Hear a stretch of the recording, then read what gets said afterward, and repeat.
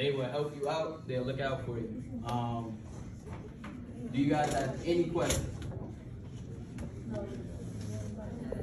I like I got a lot of aspirations. I think this is the best way y'all can prepare yourselves to set up your life and then do whatever you need to do on the side.